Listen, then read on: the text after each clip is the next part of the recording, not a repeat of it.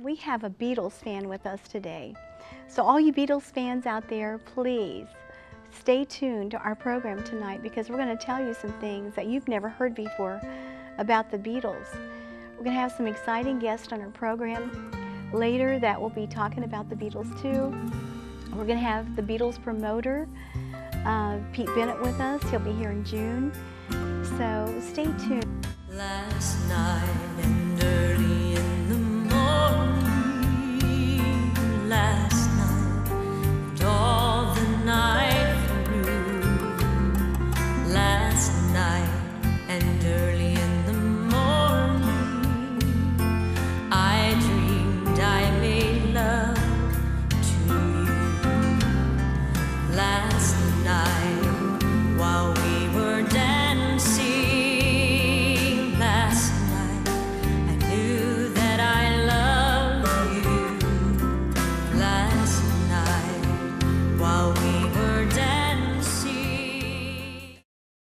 welcome to Let's Get Personal. I'm your host, Eva Joyce. We have an exciting guest in our program today. Her name is Lucy Hart. I met her the other day in the park, and we had such wonderful things to share with each other. She was with a lot of other people in the park that love the Beatles, and I'm sure you fans out there love the Beatles too. Lucy, it is so wonderful having you today on our program. Thank you, Eva Joyce. I must say it's a pleasure to be here and to be a part of your first show. It's been so great. This is our first program today, and we're just so excited to have you and all the stuff that I learned about the Beatles the other day. I thought I knew it all. Well, I didn't know anything compared to what you guys know. You were in the park with a lot of different people the other day, weren't you? We're members of the Nashville um, Beatles meetup group, and we're all fans of the Beatles, and we meet once a month at different places, and we just talk about them and their music, um, their lives growing up or as adults, and after they became famous and brought Beatle, Beatlemania to the United States, and we talk about their albums and their songs and the stories behind their songs, and I have learned so much just from a short period of time. I moved to Nashville three years ago, and the Beatles meetup group was the first group of people that I met, Oh. and they've turned out to be the best friends that anyone could ever ask for. So God has really blessed me by strategically placing these wonderful people in my life, and I know that this is home now, and I know this is where I'm supposed to be. So they have several groups, different places, and different, and all over the United States or in Yes, there there are Beatles meetup groups all over the country. Mm-hmm. Yes. Even in England and different uh, countries of Europe. And As everywhere? far as I know, yes. Um, I do believe, if I recall correctly, um, the Beatles were less popular in Liverpool than Led Zeppelin was Oh, at the time. Okay. Yes, but um, that's just hearsay. I don't know that it's actual fact, but um, that's what I have heard. Yeah. I know Paul McCartney's got a school there now, doesn't he? Yes, he does. Mm-hmm. Uh, the Liverpool um, Art Institute. And if you're fortunate enough to go there, when you graduate, he presents you your diploma. What kind of school is it? A School of the Arts, the Fine Arts, Oh, do they music. learn music yes. stuff like that? Yeah. Yes. So it's accredited? Yes, definitely. Great. I couldn't believe the stuff that you guys were talking about the other day. The one thing that really got to me was you had this Beatles album, and they were telling every person that was on that album, every person that stood by and was watching them on that album. I couldn't believe it. There mm-hmm. was a woman that was just walking by. They knew her name, they knew everything about her, they knew the man next to her, they knew if he lived or he died. They said, Oh, he died a couple of years ago or something. And I thought, how do you know a guy that was just standing on the street corner? How could you remember all that stuff? It mm-hmm. just, I, couldn't believe it. They even knew his underwear, what color he wore, what it was. You know, I couldn't believe the stuff that they knew about Paul McCartney and Ringo, and they're still alive. Yeah. Lucy, how did you get started in the songwriting business? Well, ever since I was 11 years old, I wanted to be a rock star. And I took guitar lessons one summer for one month and learned three chords. Oh, And it got too complicated after that and said I couldn't do it. So I put the guitar down. and continued with high school graduation, college, marriage, children, and put it on the back burner. But I always loved music and listened to all different types of music, all different genres. And um, God made it possible for me to leave Mississippi and to come to Nashville, where I now call home. And He proved to me that I could do what I've been wanting to do since I was eight years old, Mm. which was play music and perform in front of people. Mm-hmm. And I've pretty much taught myself, other than that one summer of guitar lessons back in the seventh grade. And I love music, I have a passion for it. And I've not been vocally trained or anything like that, but it's just, it's in me. And there's so much inside of me wanting to come out. And I've been allowed that privilege by being up here in Nashville, I've gotten so much support from fellow songwriters. Mm. And I came up here with three goals. The first one was that I wanted to record just one song. And the second goal was that one person would come up to me and tell me that one of my songs meant something to them. Mm. And the third goal was that someone of notoriety here in Nashville would want to record one of my songs. And all three of those Oh, things came true for me mm. within three years. so precious. You know, for our viewers out there, I think that they need to hear this because there's so many of them that do come to Nashville and have dreams inside of them that haven't been birthed. They have so many hopes and dreams, and they know the greatness that's within them that needs to come out. But they need to have someone's approval on it. And you don't really need anyone else's approval. You have God's approval. God birthed those things inside of your heart, inside of your spirit, and they will come out. The Bible says that he that begun a good work in you will perform it until the day of Jesus Christ. He that done a good work in you will perform it till the day of Jesus Christ. Just like you, your hopes and your dreams. You've only been in Nashville for three years. I know people that's been here their whole life and, and haven't done what you've done. You know, but it there's an encouragement that is here. I couldn't believe some of the songs I wrote. When I met Chrissy, something was birthed in me. And sometimes when you meet that special person in your life, when there's someone that you meet that's so special in your life, and that thing is just birthed in you, and overnight something can happen and light that flame to become a fire in your life, just to get you started and set you aflame to everyone else. Like the American Idol show. Look at those young mm-hmm. people that are on the American Idol show that no one even knew their name before. But they knew inside their heart they had something special to give. And they just wanted to give it out. Just like the ball players, they're just wanting to give what they have. Exactly. You know, and practice makes perfect. So don't give up on your hopes and your dreams. God's still working on you, and it's going to come through. It may not be just like we want it to, but God's got a timing and a purpose in your life to fulfill those dreams because God Himself put those dreams inside of you to cause them to come to pass. You don't have to cause them to come to pass. God's going to send that special person in your life to make those dreams and visions come to light, like He did Lucy here. I mean, it's so wonderful what you've done.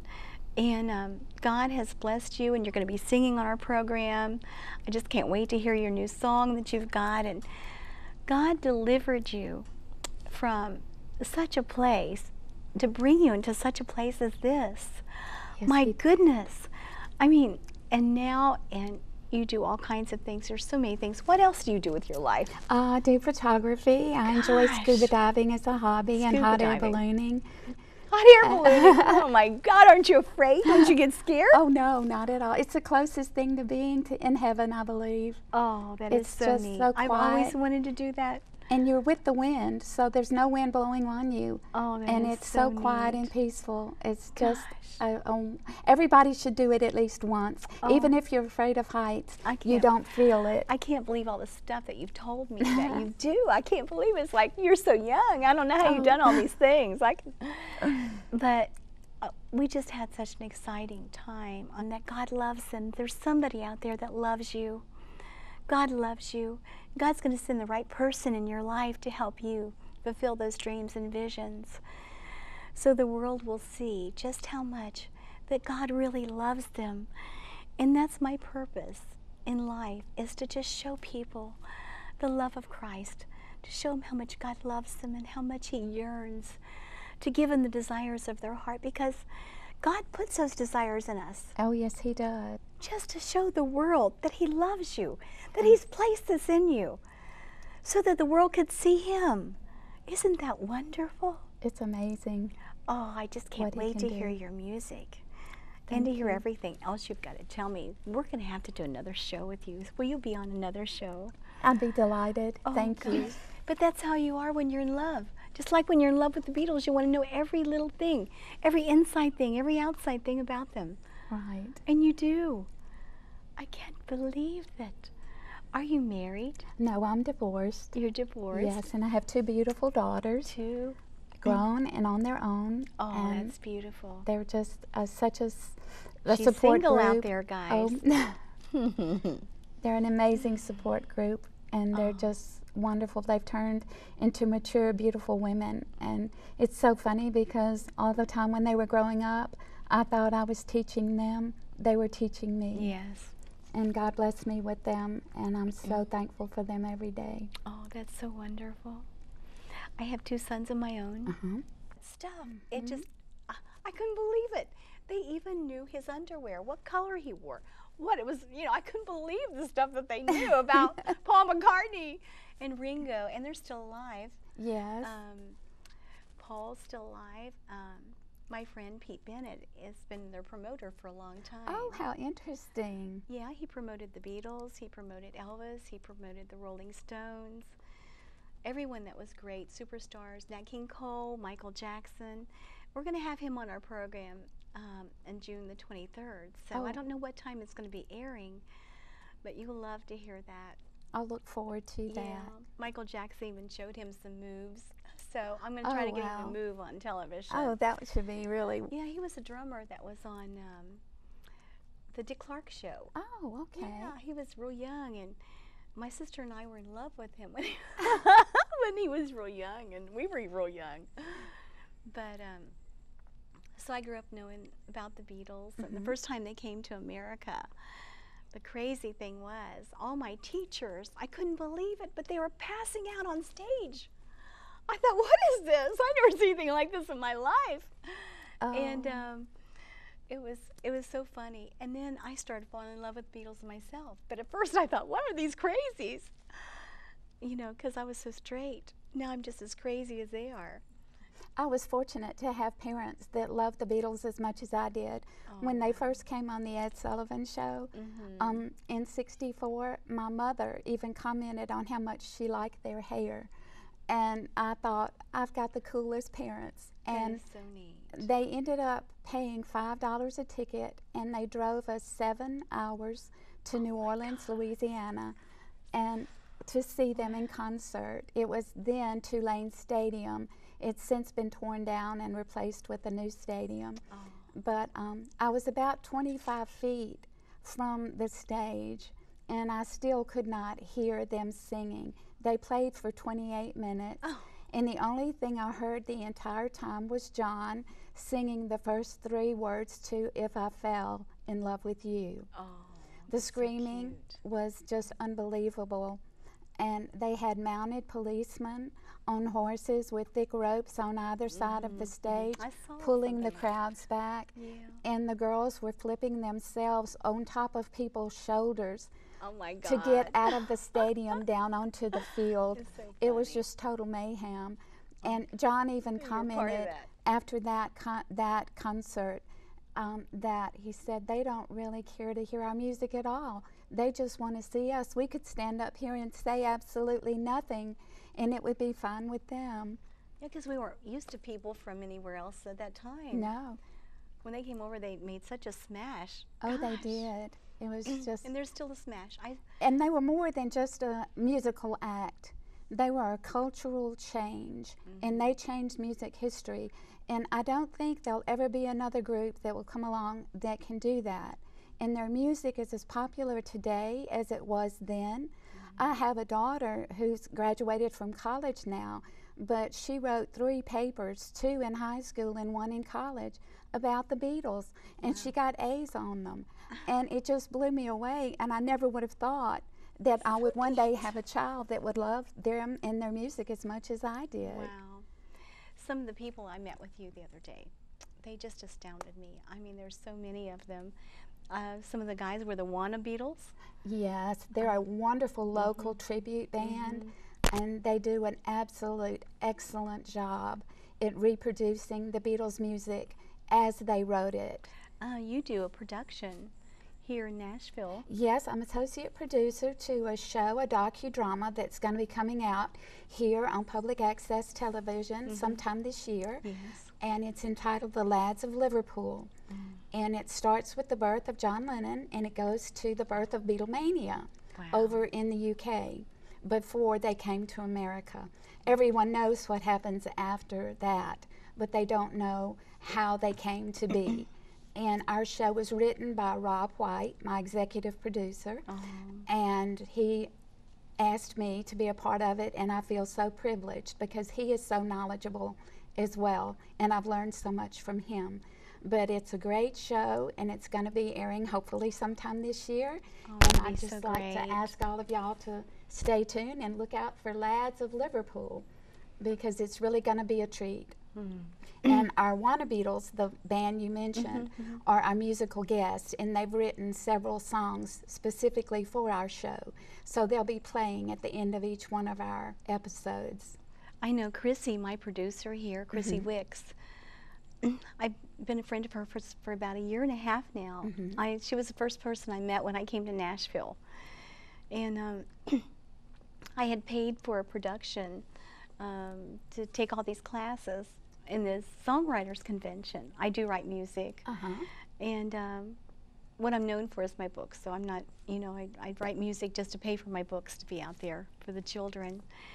And um, I met Chrissy about a year and a half ago. We became best of friends. And I didn't take one class. All I did was just think about her and, and try to be around her because she was so exciting. And she was writing all these songs. And I thought, man, I better start writing some songs.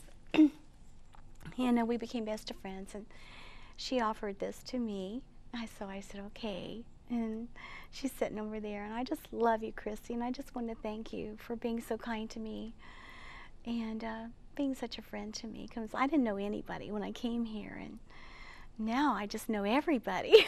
I can relate to that because I didn't know anyone know, either. it's and so Chrissy neat. is also a member of our Beatles meetup group, and that's Oh. how I got to know her. that is so neat. So it's just such a small world. I couldn't believe it. I mean, you guys know everything. I don't. What do you guys talk about when you talk about the Beatles? I mean, everybody had albums. They had those little things that they. Um, I don't know what they call them. They had the flashy kind. They had every kind stuff. Every kind of Beatles buttons, every kind of Beatles paintings, they had everything in the world there. I couldn't believe it. And there's just little groups just huddled everywhere, just talking about the Beatles. I- I mean, are they our heroes or what? You know. They're my hero and always have been and always will be. Mm-hmm. Um, I'm an avid Beatles fan, but a dear friend of mine, Cheryl Howe, is even more a Beatles fan than I am. She knows more than I do, and Mm-hmm. I believe she has maybe five Paul McCartney tattoos. I could be wrong about oh, that, she- so don't hold me to it. I She- did see some of her tattoos. I didn't see them all because some of them were inexposed. Right. but I understand she's going to be a guest on your show very soon. She will be, So yes. y'all mm-hmm. please stick around and look out for Cheryl Howe because she's going to be a real treat. yeah, we want to show you some of her paintings and a lot of stuff that she did. She's she quite an artist. Oh, she's really great. I couldn't believe the stuff that she's done. And she even had a, a Beatles Volkswagen Covered. covered with Beatles pictures, and it's been noted all over England everywhere. I mean, it's been a lot of notoriety about that. Her Beatles Beatles, she called it. Oh, that is so cute. And I'm so glad that I met you, Lucy. You're such a sweet girl, and I just can't wait to hear your music. So I'm just hoping that we can get you on as quick as we can, because I've got to hear that song. The name of my song is Mississippi Moon, and it's about my journey from Mississippi to Nashville. Oh, that's so cute. Here is Lucy Hart with Mississippi Moon.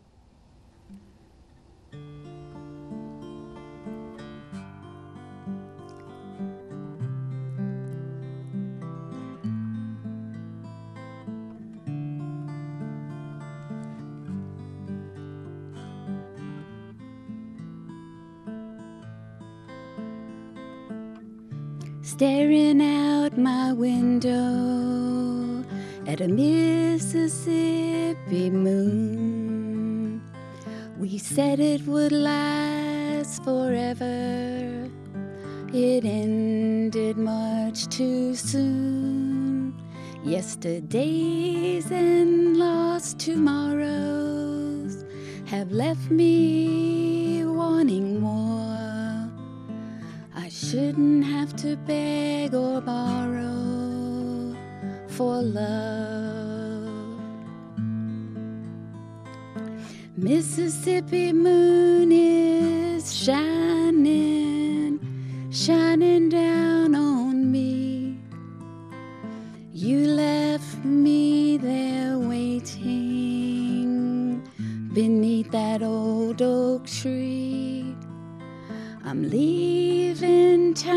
tomorrow for Nashville, Tennessee. And the Mississippi moon will shine on without me. Packed up all the memories and dusted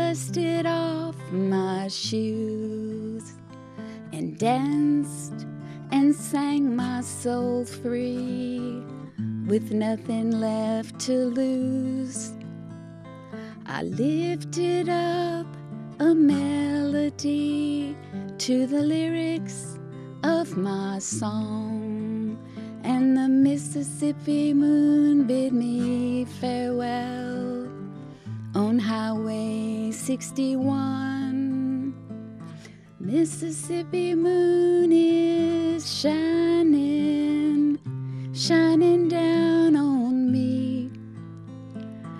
as I stand aside my silhouette beneath that old oak tree. I'm leaving town tomorrow for Nashville, Tennessee. And the Mississippi moon will shine on without me.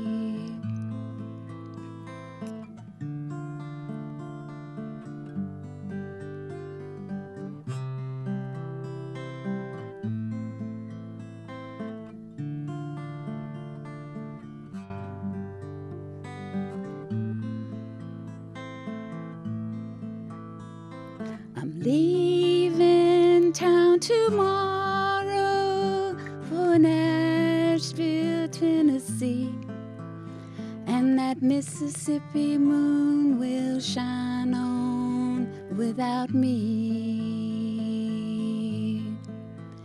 And that Mississippi moon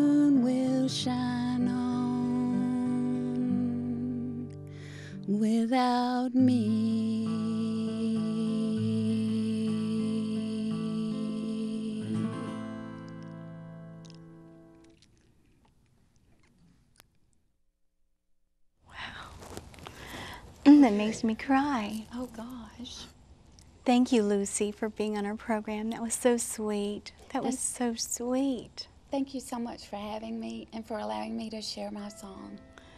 And I know our audience just loved it. That is so precious, and I'm so thankful you were here. Thank you so much. We love you. Thank you for joining us and getting up close and personal. We just thank you so much. And please be sure to join us next week on our next program. We're going to have some exciting guests on every program, and I know you won't want to miss it. Thank you. We love you.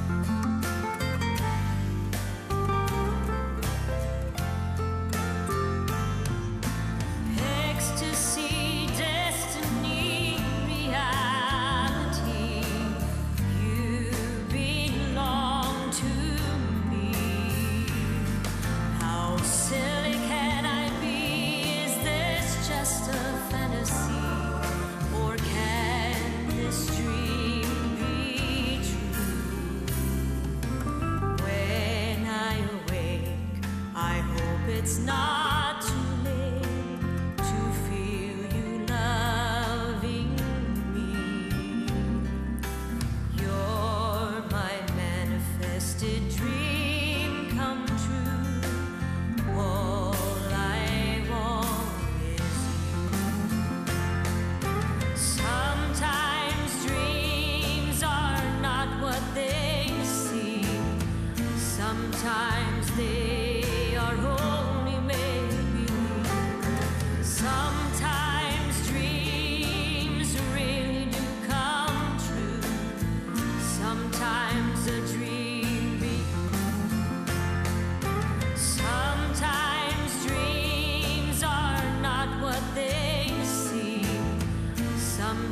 Sometimes they are only made believe. Sometimes